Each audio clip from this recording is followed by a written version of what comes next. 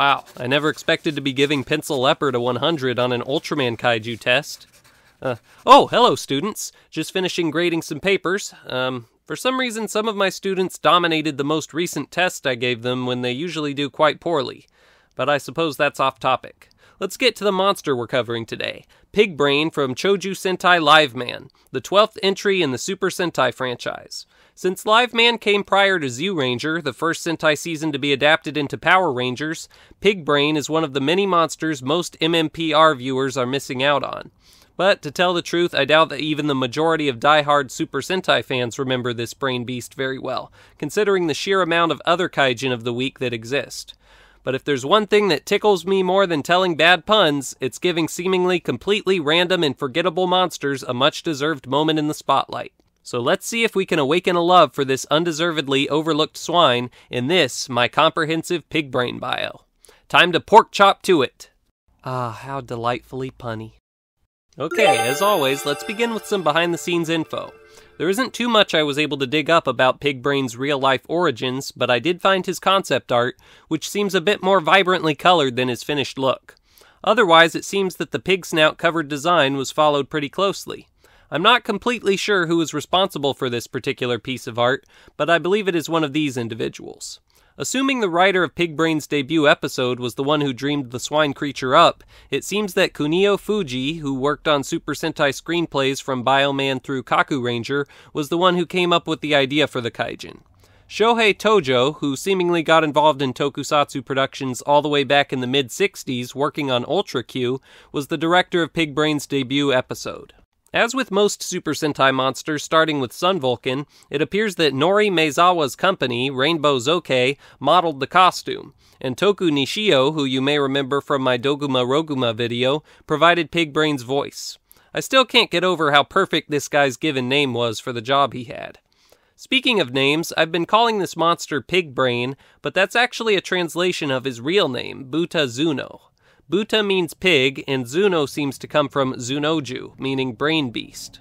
Alright, time to get into episode 24 of Choju Sentai Liveman and follow the in universe adventures of Pigbrain. For this episode, the armed brain army Volt developed a highly unusual evil plot to cause human kids to become incredibly lazy and lethargic in order to make them their slaves, by turning them into pigs, thanks to the signature ability of Pigbrain, a brain beast capable of emitting weird beams of light from his snout, which could exploit the weakness of a child's heart. Working with Dr. Mazenda, who convinced several children to take part in his evil therapy in order to get better at studying and made them put on these odd shades, Pigbrain began experimenting with his powers. At first, the kids became fantastic at solving problems, while hardly needing to study at all, and they kept coming back for more exposure to Pigbrain's energy rays. One of their classmates, however, who was friends with one of the live men and wasn't receiving pig brain therapy, began complaining how much better his fellow students were doing to the live men one day.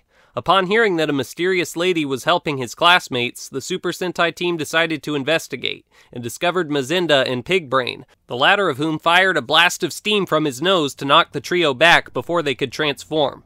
Now that's what I call a pig brain play. A bunch of Jimmers arrived to take the heroes on as well, so the team transformed into the live men and fought back. This battle didn't last for long at all, and after knocking Red Falcon to the ground, Pigbrain escaped with Mazenda. Not much later, the kids Pigbrain had been using as guinea, well, pigs, began to experience the horrifying effects of the treatment they'd been receiving. Their faces began to resemble that of a pig, and they became extremely lazy. Some were even hospitalized.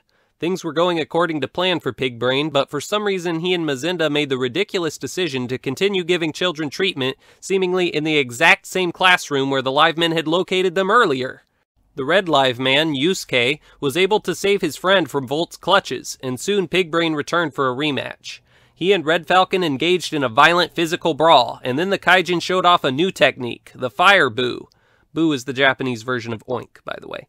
The other live men arrived to help out, but Red Falcon insisted they keep out of it for now, so he could show his young friend the value of working hard and not being lazy. The Red Ranger had always wanted to score a goal in soccer with a backflip, and had been practicing all his life, without success. but somehow he must have been convinced he was finally ready now, and the next time Pigbrain unleashed his Fireboo attacks, Yusuke charged through the flames, leapt up, and deflected a fireball back, which exploded, knocking Pigbrain off of his feet Having completed this move, the other live men were permitted to join the fray, and all three members transformed for the usual near the end of the episode confrontation with Volt.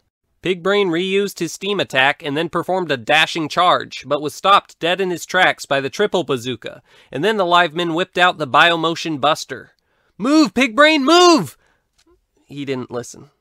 The moment Pigbrain was destroyed, all the kids affected by his earlier treatment returned to normal, but there was still work to be done for the live men as Pigbrain was revived and enlarged. The live men quickly entered Live Robo to combat the Big Pig. In this, his final battle, the now enormous Kaijin tried to push Live Robo over and launched several more slightly effective fireballs. But after getting knocked off balance by a flying punch, things looked bad for the Brain Beast. And things were bad.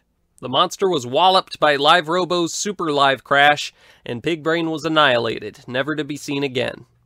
You know what I think would be hilarious and exciting? If at some point the Toku community could band together in support of an obscure forgotten monster like Pigbrain and petition to have him brought back. Wouldn't that be amazing if it worked and he returned in King Ohger or something? Or almost just as good if Toei had Bandai produce a figure of the Kaijin for collectors. I'd definitely want to buy one. It would take a lot of work, but maybe Pigbrain could be restored to his former glory. Well, if he ever had glory. Just a little something to think about as we wrap up this class. Alright, guess it's back to grading now. I still can't get over how well the kids have been doing on these te- Oh, wait a minute. Are you thinking what I'm thinking? Let's find out. The Toku Professor, travel form activated. Go, go, go!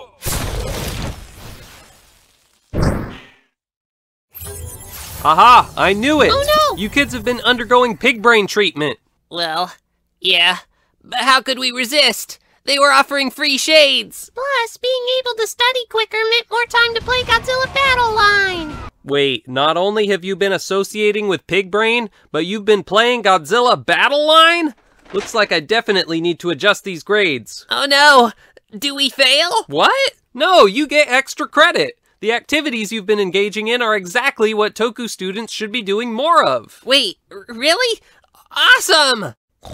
Thanks for watching, everyone. Be sure to like, subscribe, and comment. Wait, aren't you gonna do something about us being stuck with pig faces now? Not a problem. I'm sure episode inconsistency will take care of it. Bye, students.